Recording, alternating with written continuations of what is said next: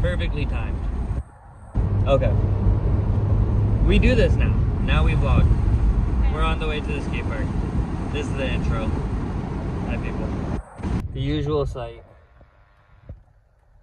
Unless you're not me, then it's this plus me falling on his ass. So sad. We need more skaters. All right, we got a nice little practice in. My hair's horrible. We got a nice little warm up, about an hour long maybe warm up. Now, let's get down to business.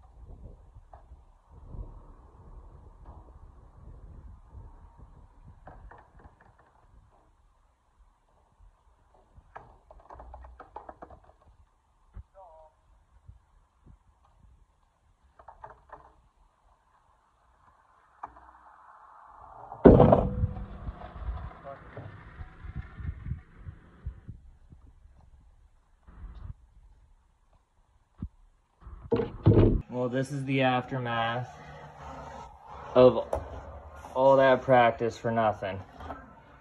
One end chipped on the front now. This whole corner is about to start going. Oh no, no, no. This end's completely bonkers. Like, this is all popped up. My horrible grip tape job too when I put the board together, so maybe it was meant to be eventually, but I love this board.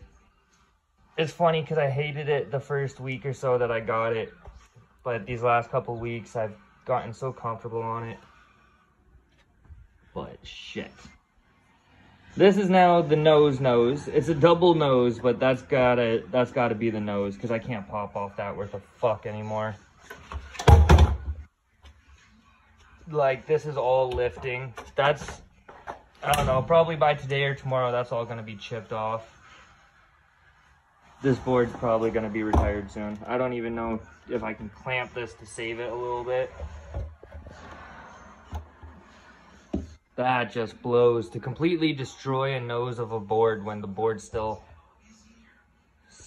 still in its infancy almost.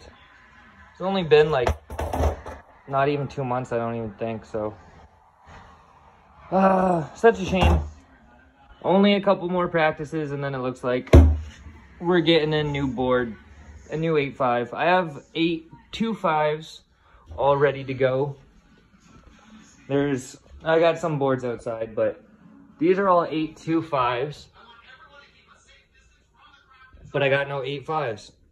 So what I think I'm gonna do is I'm gonna save up and I'm gonna buy the Andy Anderson eight five. And that's what we're gonna do. That's our next eight five. And we won't be able, this will only be our eight five for the next little bit. Till we get the Andy Anderson board. And we're gonna get the grip tape to match, obviously. But fuck. Yep.